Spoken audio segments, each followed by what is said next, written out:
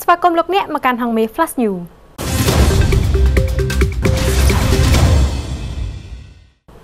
សម្រាប់ដកប្រធានការិយាល័យចរាចរណ៍ភ្នំពេញ បន្ទាប់ពីមានរឿងអាស្រូវញយដងពេករដ្ឋមន្ត្រីក្រសួងមហាផ្ទៃបានសម្រេចដកតំណែងលោកដេម៉ៅជាផ្លូវការហើយបន្ទាប់ពីរូបលោកធ្លាប់មានរឿងអាស្រូវការងារនិងរងពាក្យបណ្ដឹងញយដងពេក សេចក្តីប្រកាសរបស់ឯកឧត្តមសសុខាចុះថ្ងៃទី23ខែឧសភាឆ្នាំ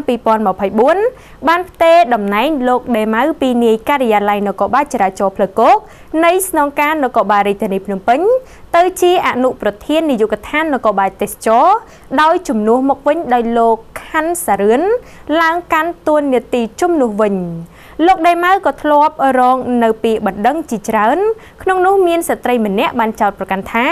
បានឃុំឃាំងរូបនាងដោយខុសច្បាប់គ្មានហេតុផល បន្ទាប់ពីកើតមានគ្រោះថ្នាក់ចរាចរណ៍រវាងម៉ូតូមួយគ្រឿងជិះបុករថយន្តនាងពីក្រោយបណ្ដាលឲ្យរងរបួសប៉ុន្តែបែរជាឃុំឃាំងរូបនាងដោយខុសច្បាប់ទៅវិញ ធំរហស្សនាម KV ប្រចាំស្រុកគៀនស្វាយត្រូវសមត្ថកិច្ចខណ្ឌ7មករាខាត់បាន9នាក់ក្រោយពីបានកាប់គូសត្រូវនៅអ្នកលឿងរួចមកក្រុមបងធំរហស្សនាម KV ដែលតែងតែបង្កការអកលកនិងកាប់ចាក់យ៉ាងសាហាវប្រចាំនៅស្រុកគៀនស្វាយខេត្តកណ្ដាល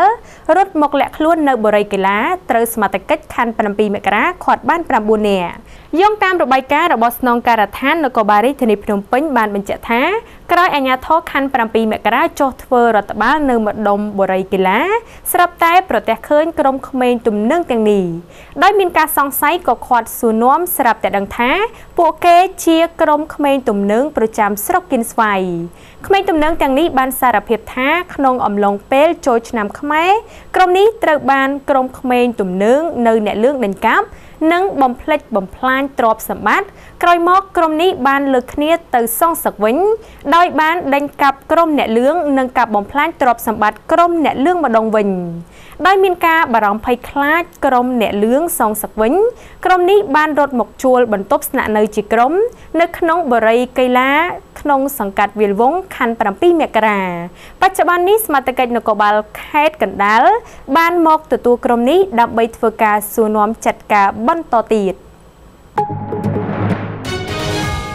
ក្រុមក្មេងទំនើងជិះម៉ូតូដេញកាប់គ្នាអាណាធិបតេយ្យនៅអង្គតាសោមចាប់បានម្នាក់ហើយ ស្នងការនគរបាលខេត្តតាកែវបានឲ្យដឹងនៅថ្ងៃនេះថាក្រុមក្មេងទំនើងដែលជិះម៉ូតូដេញកាប់គ្នាបង្ក ភាពអនាធបត័យនៅតាមផ្លូវជាតិលេខ3ម្ដុំផ្សារអង្គតាសោមត្រូវបានសមត្ថកិច្ចសហការគ្នាឃាត់ខ្លួនបានម្នាក់ហើយកាលពីល្ងាចថ្ងៃទី29ខែឧសភាម្សិលមិញបពពួកក្រុមក្មេងទំនើងដែលចាប់ខ្លួននោះមានឈ្មោះជាថាវិនភេទប្រុសអាយុ17ឆ្នាំ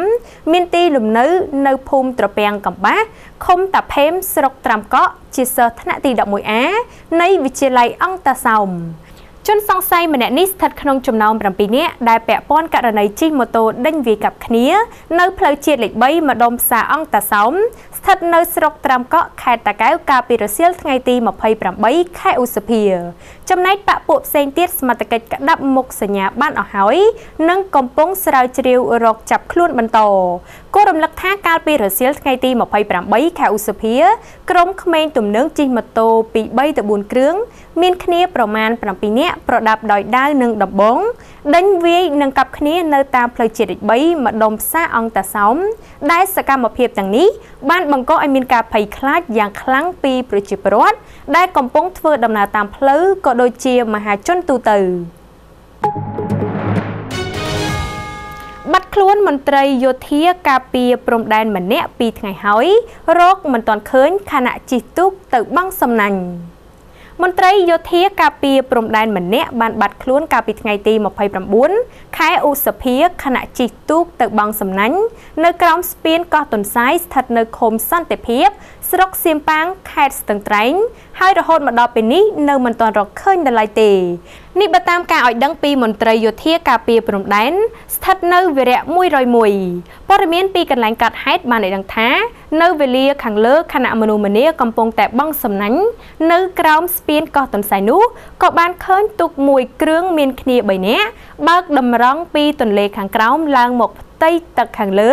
ឆ្ឆ្ងាយពីស្ពានប្រហែល20ម៉ែត្រក៏ស្រាប់តែលិចបាត់តែម្ដង គ្រានោះដែរគេបានឃើញមនុស្ស2នាក់បានប្រឹងហែលទឹកឡើងលើគោកហើយម្នាក់ទៀតបានបាត់ខ្លួននៅក្នុងទឹកក្រោយកាត់ហេតុកម្លាំងវិរៈការពារព្រំដែន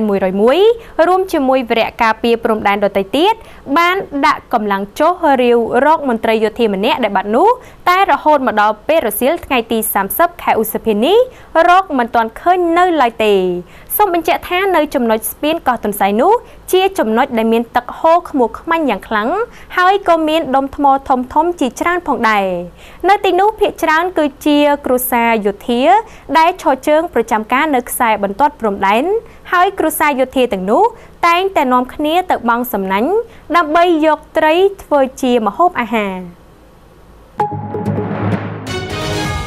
ភ្លៀងមួយមេធំមេឈើបាក់រលំសង្កត់មនុស្សប្រុសស្រីពីរនាក់បណ្ដាលឲ្យរងរបួសនិងស្ទះនៅកំណាត់ផ្លូវកម្ពុជាក្រោម។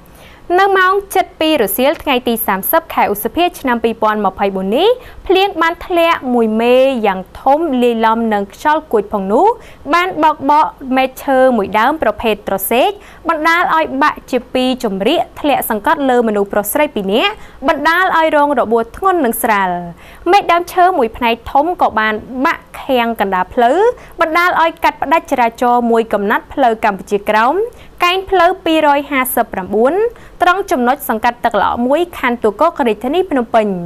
ជនរងគ្រោះទាំងពីរជិះម៉ូតូម៉ាក Click ពសពាក់ស្លាកលេខភ្នំពេញ 1CA 9175ដោយបរិសម្នាក់រងរបួសធ្ងន់ត្រូវដឹកបញ្ជូនទៅកាន់មន្ទីរពេទ្យ ចំណែកស្ត្រីម្នាក់ទៀតរួមដំណើរជាមួយគ្នានោះបានរងរបួសស្រាលកម្លាំងអាជ្ញាធរបានចេញអន្តរាគមន៍កាត់ផ្ដាច់ដើមឈើទាំងនោះចេញពីផ្លូវដើម្បីសម្រួលចរាចរណ៍ឡើងវិញគួរបញ្ជាក់ថានៅរដូវភ្លៀងចាប់ផ្ដើមធ្លាក់នេះបានបាក់រលំមែកឈើបង្កជាគ្រោះថ្នាក់ជាច្រើននៅតាមដងផ្លូវមួយចំនួន នៅក្នុងរាជធានីភ្នំពេញសូមអរគុណលោកអ្នកចំពោះការគាំទ្រហងមាស Flash News